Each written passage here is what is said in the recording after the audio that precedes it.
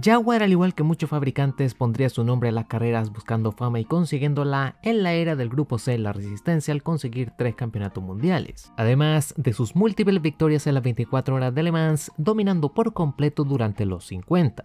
Pero si por algo son famosos en Fórmula 1 es por ser el equivalente del PSG, ya que en los 2000 invirtieron una gran cantidad de dinero en un proyecto que nunca terminó por cuajar, un destino similar que han vivido en Fórmula E. A pesar de esto conseguirían un par de podios y nos dejaron más de una historia curiosa y por ello sin más te presento la historia del equipo Jaguar Racing.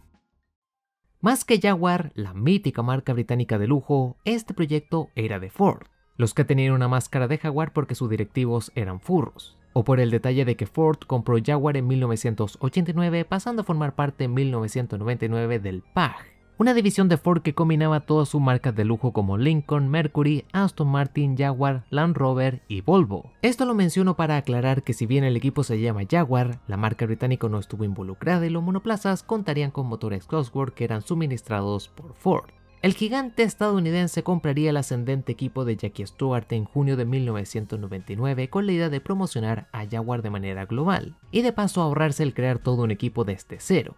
Wolfgang Reitzle, la cabeza del grupo PAG, tomaría las riendas del equipo, mientras que como pilotos mantendrían a Johnny Herbert de Stewart y ficharían a Eddie Irvine, quien en 1999 tuvo su mejor temporada junto a Ferrari al terminar segundo en el Mundial en gran parte porque Michael Schumacher se accidentó y se ausentaría en gran parte de la temporada. Además de que el bueno de Jackie Stewart quedaría en Jaguar como un directivo. En el 2000, con todos sus ánimos y energías, construirían el Jaguar R1, el que sería tan exitoso como un Williams de 2019. En Australia, Herbert se retiraría la primera vuelta por una falla mecánica e Irvine se accidentaría poco después. Irvine viviría un destino similar en Brasil, y el auto de Johnny Herbert lograría vivir hasta la vuelta 51 cuando la caja de cambios se hizo añicos. Recién en Imola terminaría en una carrera con Irvine finalizando séptimo, la misma posición en la que se clasificó. Así es como vivirían alejados de los puntos hasta que la chance de oro llegaría en Mónaco. En una demandante carrera física, Irvine lograría rescatar una cuarta posición describiéndola como una de las carreras más difíciles de toda su trayectoria como piloto ya que su botella para beber líquido no funcionaba y uno de sus pies estaba lleno de ampollas, pilotando con bastante dolor. Algo que llenó de ánimos al equipo y a Irvine, quien se había accidentado las prácticas en Mónaco, pero regresarían al fango viviendo en Austria más infortunios cuando Irvine, luego de las prácticas, comenzó a sentirse mal, siendo diagnosticado con apendicitis. Su reemplazo sería el brasileño Luciano Burti, quien hacía su gran debut en Fórmula 1. Pero el destino no mejoraría y en el último GP del año en Malasia, Irvine lograría una sexta posición rascando un puntito más. Un año en el que pensaban emular a Stuart GP y conseguir al menos una victoria, pero que les dejó con 4 míseros puntos en una desastrosa novena posición. En 2001, Johnny Herbert se retiraría de la Fórmula 1 dejando su asiento vacante, el que ocuparía Luciano Burti. Durante los cuatro primeros GPs, el brasileño formaría parte de Jaguar superando a Irvine en Australia al ser octavo pero quedaría lejos de los puntos en Malasia donde fue décimo y San Marino donde sería un décimo, retirándose en Brasil. Irvine en cambio solo finalizaría en Australia comiéndose cuatro retiros al hilo desde Malasia hasta España. GP donde Burti era despedido y saltaba al equipo Prost. Para reemplazarle llegaría el rey de los reemplazos, Pedro de la Rosa. El español también la pasaría mal viviendo tres retiros al hilo, pero Irvine lograría sacar un poco de gloria en Mónaco se clasificaría sexto y escalaría posiciones aprovechando varios retiros hasta conseguir una gran tercera posición, el primer podio para el equipo. El piloto felicitaría al equipo por su gran trabajo y a la gente en la fábrica quienes le enviaron un nuevo paquete aerodinámico, comentando además que ojalá mantuvieran este ritmo en Canadá, donde terminaría trompeando al tocarse con Hateville en la segunda vuelta. Pero Pedro de la Rosa conseguiría al menos un punto al finalizar sexto. Luego de esta gran doble actuación pasaría en GP tras GP viendo los puntos desde lejos. En Bélgica, Irvine estaría involucrado en un durísimo accidente que mandó a su ex compañero Luciano Burti directo contra una barrera de neumáticos a toda velocidad. Pero Irvine se bajaría rápidamente del auto para ayudar a los comisarios a retirar los neumáticos. Este accidente ocurriría a la vuelta 5 y provocaría la bandera roja, declarándose que toda la carrera hasta el momento quedaba como nula y tenía que reiniciarse. Irvine no formaría parte de ese reinicio, los comisarios le dejarían libre de culpa al considerar que todo el incidente fue un incidente de carrera, aunque el piloto declaró que nunca vio a Burti intentar adelantarle por el exterior. Tendrían algo de suerte al cerrar el año, ya que Pedro de la Rosa lograría una quinta posición en Italia e Irvine en Estados Unidos. Con esto cerrarían el año con 9 puntos, ascendiendo una posición en constructores al finalizar octavo. 2002, en la temporada anterior, muchas cosas alteraron las aguas en el equipo. Bobby Rahal, el jefe del equipo, había fichado a Adrian Newey, y con él obviamente las cosas iban a mejorar, pero ¿qué pasó? Newey se arrepintió a último minuto, y a la vez, Rahal estaba negociando con Jordan para vender a Eddie Irvine.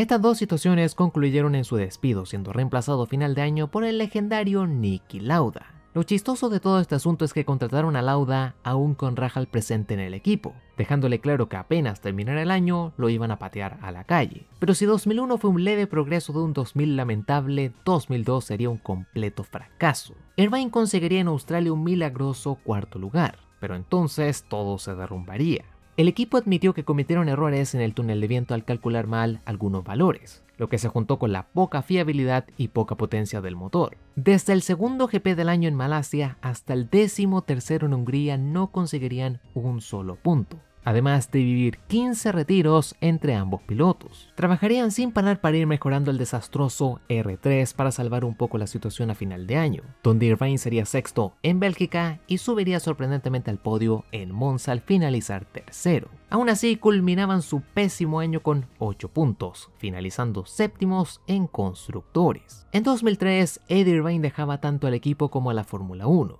Y he de mencionar una curiosidad que conocí gracias al canal de Race ya que al discutir sobre los presupuestos, un directivo de Ford comentaría, ¿quién es este tal Edmund Irvine? demostrando lo poco que sabían de su equipo de Fórmula 1. Todo este turbulento mandato lograría estabilizarse en manos de Tony Purnell y Dave Pitchford. Aparte del adiós de Irvine, Pedro de la Rosa también dejaba el equipo porque finalizaba contrato, y la nueva plantilla sería el australiano Mark Webber y el brasileño Antonio Pizzonia. El nuevo y flamante Jaguar reestructurado se enfocaría primero en el auto, intentando eliminar todos los errores del pasado y crear un chasis más rígido.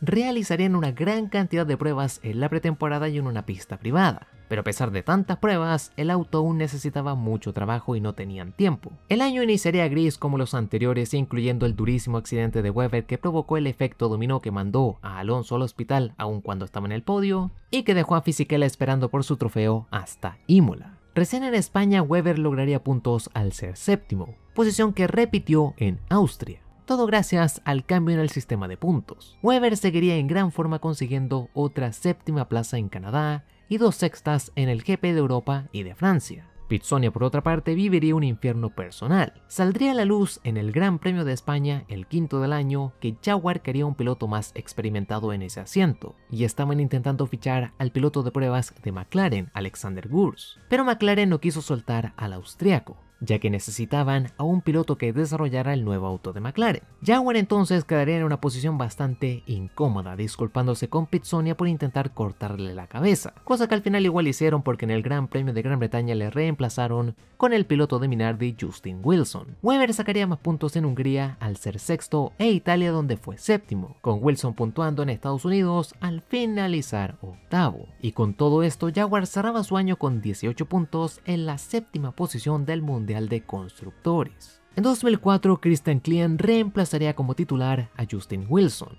Al iniciar el año el equipo pudo ganar fama de mil maneras diferentes, como por su hermosa livery verde o por tener un rookie debutando quien venía de ser segundo en Fórmula 3 Euroseries y campeón de la Fórmula Renault alemana. Pero no, te doy 3 segundos para que lo pienses bien, o el típico reto de pausar e ir a comentarios para dejar tu loca teoría. Bien, pues el equipo conseguiría fama en todo el paddock cuando dos mecánicos ganaron un burro inflable de la película Trek, en el típico concurso de conseguir una lata de gaseosa premiada. Aunque los dos hombres usarían su poder inflable para el bien, ya que todos firmaron el burro con excepción de Michael Schumacher, vendiéndolo en eBay y donando todas las ganancias a la caridad. Pero volviendo a la pista luego de dos GPs fuera de los puntos en Bahrein, Weber por fin puntuaría con una octava posición, saltando a Mónaco donde lograría los retiros más famosos de la historia. Jaguar formaba parte de una publicidad para la película Ocean 12, donde pusieron dos diamantes en la trompa de cada auto. Sí, dos diamantes carísimos en la trompa de un Fórmula 1 en el circuito más estrecho de todo el calendario. Client haría pedazos su auto al inicio de la carrera abriendo el misterio de qué diantres pasó con el diamante, ya que luego de dos horas después de la carrera recién podían enviar gente a buscarlo. Y claramente si un comisario de pista vio un diamantazo de 300 mil dólares tirados en el piso, obviamente aprovechó el bug y se dio la buena vida. bueno, según la norma de YouTube, he de dar una declaración legal no forzada. En este canal no glorificamos la delincuencia y si usted encuentra un diamante, por favor repórtelo a las autoridades correspondientes. Ya, ya, Google Sama, ya lo dije, sigamos con el video. Al menos en el Gran Premio de Europa, Weber sacaría más puntos al ser séptimo, logrando más puntos en Gran Bretaña donde finalizó octavo y Alemania donde fue sexto. Klein hasta el momento tenía una temporada consistente, consistentemente rodando fuera de los puntos, hasta Bélgica donde lograría sumar con una sexta posición.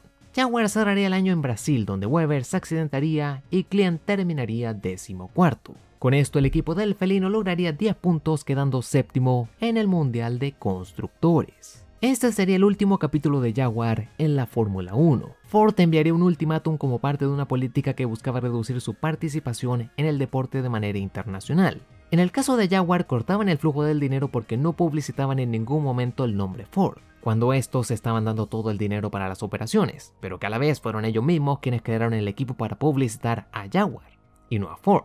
El gigante americano había invertido una cantidad inmensa de dinero en todo este proyecto, y lo único que recibieron en retorno fueron fracasos e historias de burros inflables y diamantes perdidos. Durante noviembre de ese año Red Bull compraría Jaguar Racing Formula One Team, iniciando así un nuevo camino para esta cadena que al fin tocaría la gloria durante varios años consecutivos. El nombre Jaguar por otra parte volvería a los monoplazas con la Fórmula E en 2016, y el último monoplaza de Jaguar, el R5, aparecería en la Voz GP en 2017.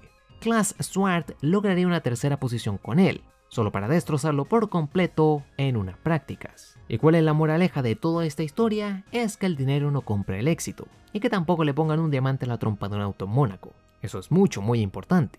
Como siempre espero que disfrutaras del video y si fue así te invito a dejar tu like, suscribirte y dar a la campanita para no perderte nada del contenido semanal. Revísame noticias y charlas del automovilismo lo que encontrarás en el Discord del canal.